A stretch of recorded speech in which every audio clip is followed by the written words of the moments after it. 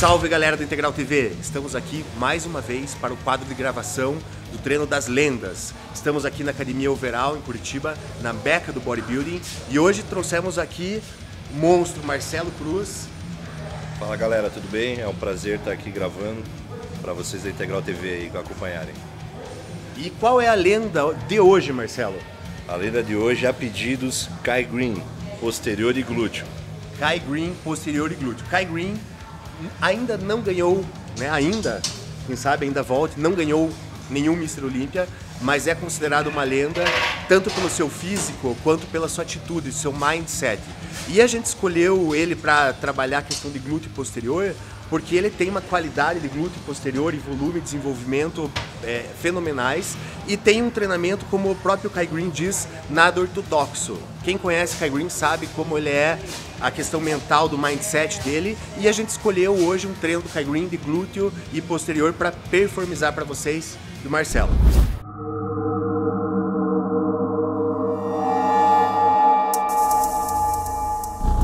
História do nosso esporte vive em constante evolução. É praticamente um livro aberto onde, ano após ano, novos nomes são inseridos nessa história. E com certeza, Kai Green é uma dessas novas estrelas do nosso esporte, é com certeza uma das maiores referências dessa nova geração.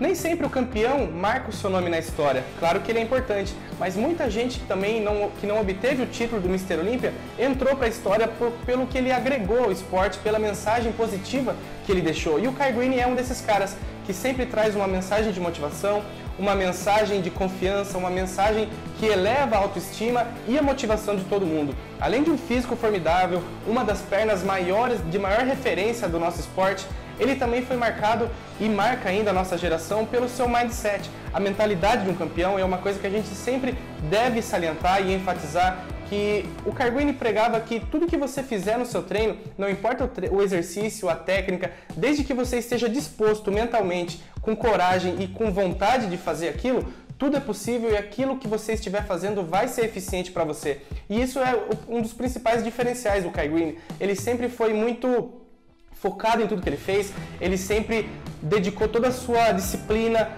e vontade naquilo que fazia e com certeza isso o ajudou a chegar aonde ele está hoje, sendo assim uma das maiores referências da era atual do bodybuilding. Com certeza Kai Green escreveu assim o seu nome na história. Ah, esse é o famoso pote preto, hein, Marcelo? É, hoje o treino da lenda vai ser do estilo Darkness hoje.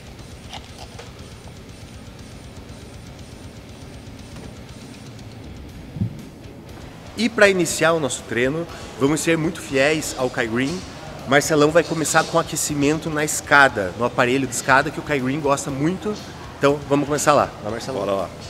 Galera, o Marcelão tá ali aquecendo, tá mentalizando. Então hoje a gente pediu para ele realmente incorporar o Kai Green. É, o treino ele não é muito pesado, mas ele é com bastante volume e muitas repetições. A gente vai simular um treino do Kai Green que inclusive tem na internet. É, ele vai fazer agachamento Jefferson dos dois lados. Para quem não conhece o agachamento Jefferson, vai conhecer hoje. Vai fazer abdutora. Depois ele vai fazer uma espécie de um quatro apoios para glúteo. E depois ele faz stiff no final, flexor em pé. Tá? Então esse vai ser o nosso treino de hoje.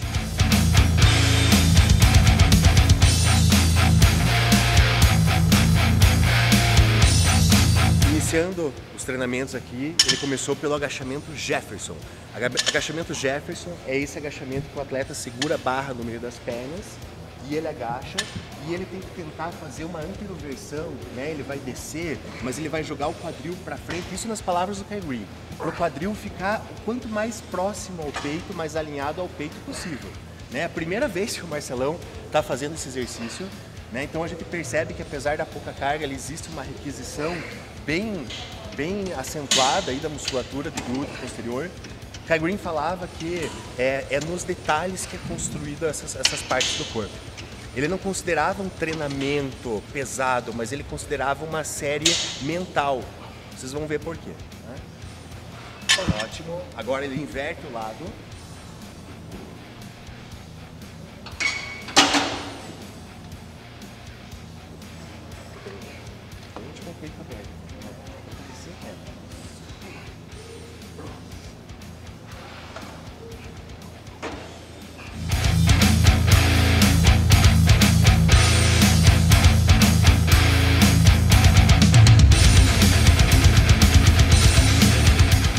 Pode perceber que por mais que está no aquecimento, mas já fadigou um pouco. Por quê? Porque a primeira vez que o Marcelão faz esse exercício, ele topou a parada da gente fazer hoje. E existe a questão do componente neural, do aquecimento, ele não está acostumado. Então realmente fica difícil, né, Marcelo? Fica complicado. Tá? A gente vai aumentar um pouco a carga, mas então o treino é assim, pessoal. É, o primeiro, primeiro exercício, dos dois lados, ele fez de um lado, aí ele virou para o outro lado, e agora a gente vai fazer uma, uma, um superset, né, uma série combinada aqui com a abdutora. Está leve, né, Marcelo? Uhum. Então é bastante repetição. Pode, até ele joga meio na. Exato.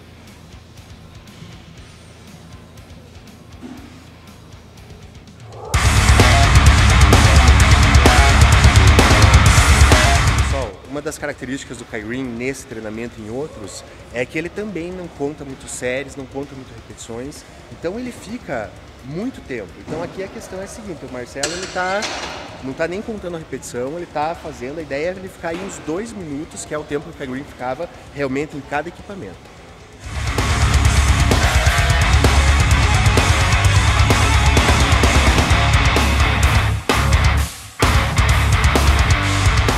Green faz muito também é alongar, pessoal. Ele, ele tem uma flexibilidade muito boa. Então é o que o Marcelo está fazendo agora. Então, vamos observar que sempre ah, no intervalo das séries o Kai Green alonga bastante. Ele alonga, ele vai pondo a mão nas fibras, ele vai sentindo, ele vai preparando. Ele é um atleta muito mental.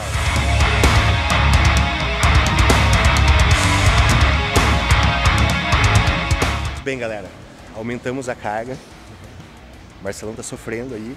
E no treino, inclusive tem na internet, já falei, o Kai Green usa exatamente esse peso, tá?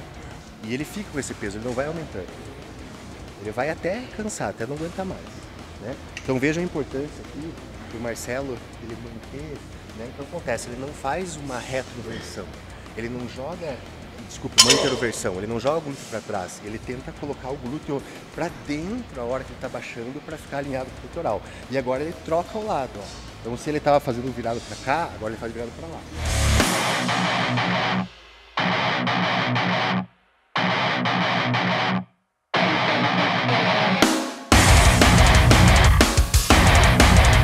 Mais cinco, Marcelo, mais cinco. Eu sei que vocês querem ver os caras sofrer, né? Vamos lá. Mais três, Marcelo. Uma. Duas.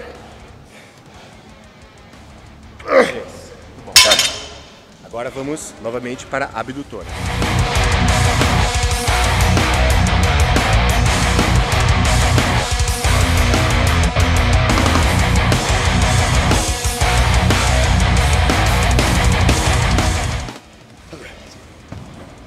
Muito bem. Pessoal, para quem quer, pessoal gosta de saber de séries, repetições, então a intenção assim, a intenção é achar a fadiga, tá? Então assim como o próprio treino do Tom Platz, só que o Kai Green ele não vai trabalhar com uma carga tão elevada. Parece que não é uma carga tão elevada, mas ó, aqui a gente está com 25, 50, 60 quilos. E nesse ângulo a coisa realmente fica complicada. Aconselha-se, se você tiver ajuda e o seu professor estiver na academia, você testar esse agachamento Jefferson para você ver. Né? Então veja, então quando ele sai daqui, sem descanso, ele vai para a abdutora. Então ali ele tem a participação do posterior, ele tem a participação também do quadríceps, ajuda um pouco. Aqui já é mais isolado. Né? Então ele vai respirar um pouco e aí ele vai retomar a mesma série e ele vai, até não aguentar mais. Então ele deve ter feito umas 20 repetições para um lado, 20 repetições para o outro, e aqui, pelo que eu contei, ele fez umas 35, 40 repetições também.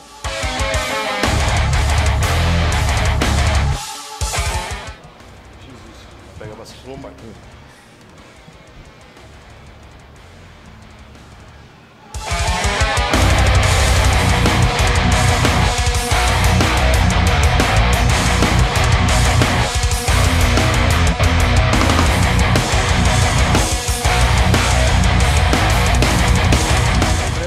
que é a primeira vez que o Marcelo realiza esse exercício e o Marcelo é um dos atletas mais fortes da Darkness, é, zera todas as máquinas. Qual foi a tua impressão, Marcelo? Você acha que valeria a pena para você colocar no teu treino?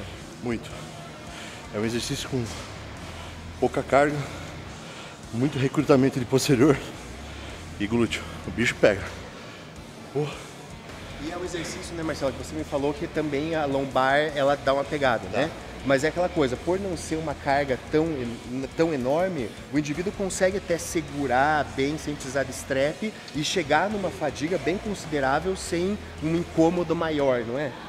É, preserva muito a lombar. Você sente recrutar muito posterior e glúteo, apenas.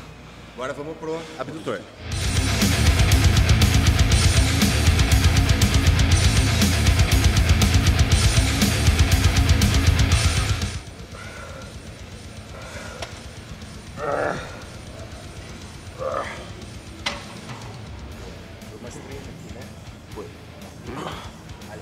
Então, já estamos aqui na nossa terceira passagem. Ele conseguiu fazer 12 para cada lado, que dariam 24 no, no Jefferson, mais 30 repetições aqui. Tá, gente, ó, segundo o Kai Green fazia seis séries, então ainda faltam mais três, tá? Então a ideia é não é aumentar a carga e ele tentar manter o número de repetições altas que ele começou no início. Então o Kai Green ele, ele, acredita que ao você não aumentar a carga e manter o número de repetições, você vai recrutar unidades motoras que até então você não tinha recrutado. Inclusive ele acredita que essa parceria da flexibilidade depois ajuda a recrutar essas unidades motoras. Galera, é o seguinte, foi três séries, são seis, e o Marcelo tá me falando aqui, cara, que a coisa tá difícil, né? E eu falei, pô, vamos abrir pra galera, pra galera entender, porque às vezes você não dá nada para isso aqui e pensa, pô, não é, mas segundo o Marcelo, aí o bicho tá pegando já. É, você chega ali já na abdutora com o glúteo completamente cheio já. A carga não tá pesada na abdutora, mas o fato da combinação do primeiro exercício com o segundo se torna muito mais difícil a abdutora. Então, é um exercício que eu não acreditava que funcionava. Mas é só provando para você ter certeza. E ele ativa muito o glúteo mesmo. Muito mesmo. Então, para você que provavelmente você não vai ter um tamanho desse, você recomendaria você treinar, aquecer só com a barra, colocar uns 5, 10 de cada lado e provavelmente você vai sentir um bom treino, né, Marcelo? Mas vamos lá. Sem dúvidas.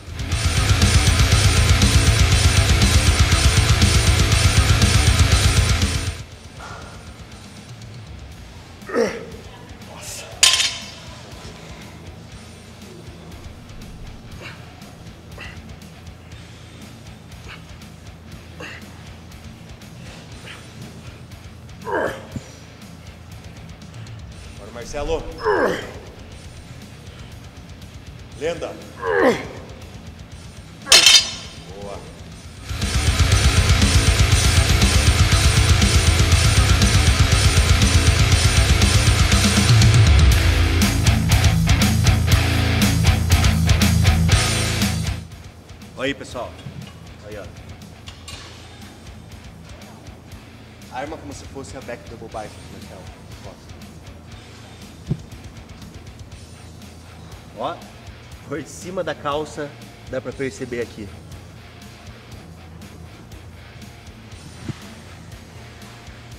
Vamos fazer mais uma. Vou fazer mais uma, Marcelo. Daí fica 5 sets.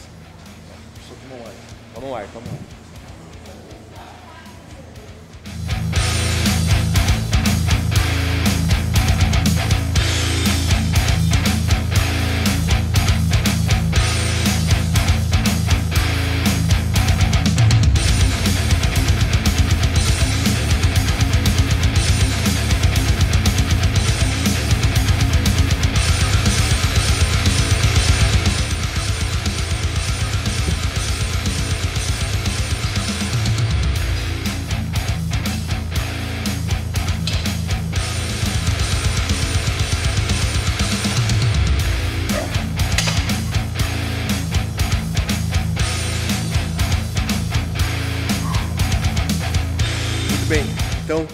Primeiro superset está feito. Agachamento Jefferson dos dois lados, sem descanso, vem para a abdutora. O que achou, Marcelão? Surpreendeu você? Surpreendeu. Felizmente surpreendeu, é muito bom. Vamos lá, dando continuidade do treino, agora o Kai Green faz um glúteo, que é semelhante a um quatro apoios. Ele faz esse glúteo numa máquina de posterior, porque lá na academia dele não tem uma máquina de glúteos. Aqui a gente tem uma máquina de glúteo, o movimento sai melhor, é, e no intervalo a gente vai fazer um stick. Vamos lá, Marcelão?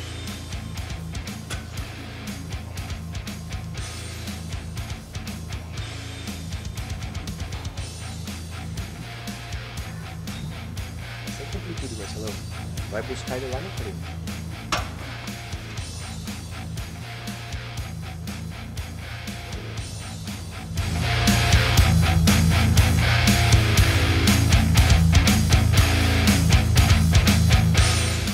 Muita gente que não acredita no trabalho isolado de glúteo, mas ele funciona muito bem. E vocês que acompanham o bodybuilding, vocês sabem que o que está fazendo mais diferença no palco hoje é o glúteo fibrado e um glúteo bem desenvolvido. Né? É a cereja do bolo. Só que não adianta você chegar nos seus convidados numa festa com, com pote de cereja sem o bolo, lógico. Mas a gente percebe, por exemplo, o próprio Rony Winkler. Muitas pessoas não entendem por que ele não tem uma colocação melhor, sendo que ele é tão grande. Se vocês observarem na pose costas, o glúteo dele parece uma criança perto dos outros, no fio hit. Então, ele saiu aqui do glúteo, da máquina de glúteo, e vai fazer agora um stiff, tá pessoal? Só que o stiff que o Kai Green faz, o, stiff, o que, que ele, ele pede para o atleta ter uma informação de fazer uma abdução de quadril, ou seja, aqui a hora que ele está descendo, ele está imaginando que ele está abrindo, não abrindo o joelho, mas ele está fazendo uma abdução de quadril. Então ele está descendo e ele está dando, a hora que ele desce, ele lança o glúteo para fora, tá? Então essa abdução aqui de quadril também vai exigir uma maior participação.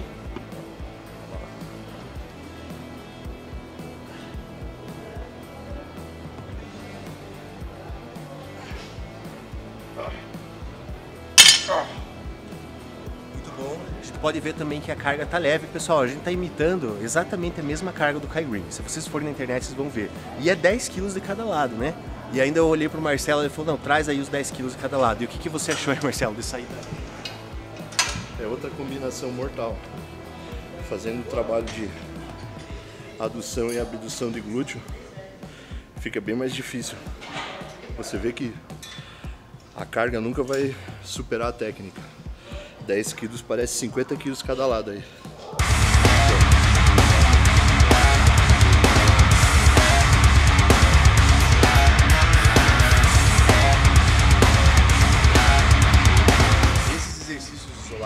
Pegam muito porque eles são multi, é, monoarticulares, né? Então vocês percebam, um agachamento até o fundo ajuda a pegar, a posterior ajuda. Mas é diferente, porque ele tá, você está trabalhando dois segmentos, né? Aqui não, aqui o que acontece? Vocês percebem que é só é, é essa parte aqui da perna, ela fica na mesma flexão, ó, não mexe. Então é só uma articulação. Então esses são exercícios monoarticulares que a gente chama, que eles têm uma requisição maior, mais direta do músculo em questão. É lógico que através do sinergismo, que é sinergia? Quando algum músculo ajuda no movimento. Então você sabe que o posterior é sinergista do glúteo, você consegue treinar mais pesado.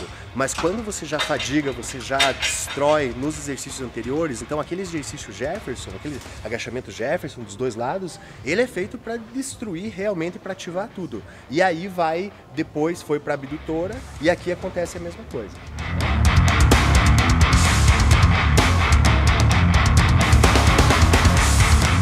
Observem, pessoal, o ventre muscular pulando, olha aqui, olha que legal essa ativação. Ó, por isso que o nome é bíceps femoral, né? Olha como ele faz esse ventre. Então essa, esse ventre aqui, essa barrigada para trás, é o que mais vale na pose, por exemplo, na pose de side chest. Marcelo, eu sei que está cansado, mas só brinca aí de, de montar uma side chest aí pra gente. Uma pose do lado, Então, se o nome da pose é, é peitoral melhor lado, por que, que, todo mundo fala senta na perna? Porque essa pose, ela entrega o cara que tem perna fina. Então vamos pensar assim, né? Vai os dois indivíduos posar, vão fazer aquela pose side chest aqui. A hora que existe um impacto em cima, alguém vai olhar e vai falar, é, mas aquele cara tem menos perna.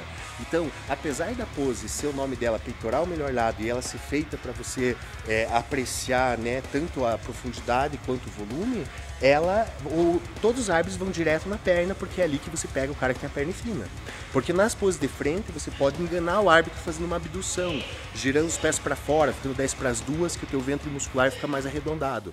Na pose de costas, você também consegue enganar o árbitro se você trabalhar com essa abdução abdução. Agora, na pose de lado não tem o que fazer, entendem? Então, a primeira coisa que o árbitro faz, a hora que o atleta fica de lado, é olhar esse ventre muscular do posterior. E é por isso que e o Kai Green é tão famoso por isso.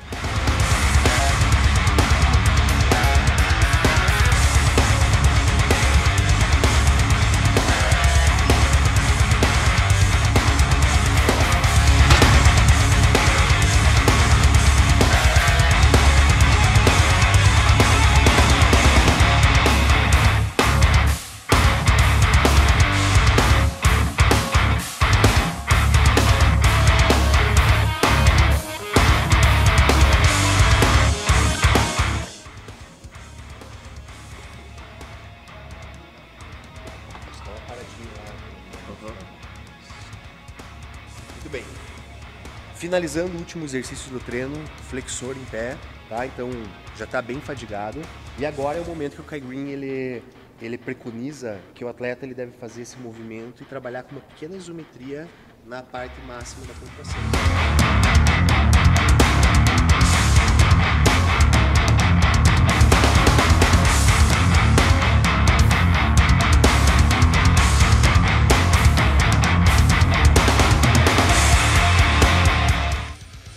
Finalizamos agora o treino com o Marcelão, tá? Finalizamos aqui na flexora. Vamos ver aí, Marcelão, como é que ficou. Aí, Recapitulando, começamos com o agachamento Jefferson para os dois lados, tá? Ele colocou uma carga relativamente parecia leve, mas não foi nada leve. É, começamos com 15 repetições, 12, ele fez 5 séries, acho que a última ele fez umas 11, 12 repetições. Aí no intervalo, sem descanso, abdutora, 30, 35 repetições. Aí lembrando, depois a gente foi para a máquina de extensão do glúteo, né, a máquina específica de glúteo, também 12, 15 repetições com bastante carga. No intervalo ele foi para aquele stiff que ele fazia aquela abdução. E para finalizar aqui ele fez quatro séries de flexor, dando mais ou menos um meio segundo de isometria no final. Acho que tá ok, né, Marcelo? O que você achou? Pegou, cara? É um treino, uma proposta diferente de treino, né? Eu senti bastante é, trabalhar especificamente glúteo posterior. né? Mesmo o agachamento Jefferson eu quase não senti quadríceps, né? Então foi muito produtivo o treino. Muito interessante. Mostrou que a técnica prevalece sobre a carga. Principalmente quando você quer trabalhar algum ponto fraco teu. Não adianta botar muita carga que vai acabar ativando outros músculos, não especificamente o que você quer trabalhar. Marcelo, e assim, ó, durante toda a tua vida de bodybuilder, todo o teu desenvolvimento, você percebe que existem partes do corpo que reagem diferente. Vou te dar um exemplo. Tem coisa que funciona só se você treinar bem pesado. Tem coisa que funciona se você concentrar mais. Tem coisa que funciona se você treinar uma vez por semana. Tem outras se você treinar mais. Existe isso ou dá pra você dizer que não? Que é por fases. A fase que está treinando pesado é a mesma fase da outra? Não, não, não. Tem, é, tipo, eu tô em off-season e hoje foi um treino relativamente leve e eu senti uma dificuldade absurda de fazer. Bom, vocês viram como eu acabei na, no segundo bisete ali, então. Eu acredito que quando você trabalha bem trabalhado, próprio Kai Green dizia, você pode transformar um halter de 3 quilos em 20 quilos. Tudo Isso. que preconiza Lembrando algo que até eu já falei num vídeo, a diferença do halterofilista, né, do powerlifter, é que ele ergue 100 quilos como se fosse 10. Já o bodybuilder, ele ergue o 10 como se fosse 100. Não é? Ele dificulta, sempre dificultando. Pessoal, esse foi o vídeo de hoje, esse foi o treino de hoje com a lenda Kai Green, performado pelo nosso querido Marcelo. Curta, compartilhe, deixe seu comentário, deixe sua sugestão, deixe sua crítica para a gente conseguir cada vez mais fazer um material melhor para vocês. Certo, Marcelão? Valeu, Pajé. Obrigado, Obrigado pelo treino. Qual a próxima competição? É, Arnold Classic Brasil 2020. Estaremos lá. Darkness. Darkness. Obrigado, pessoal.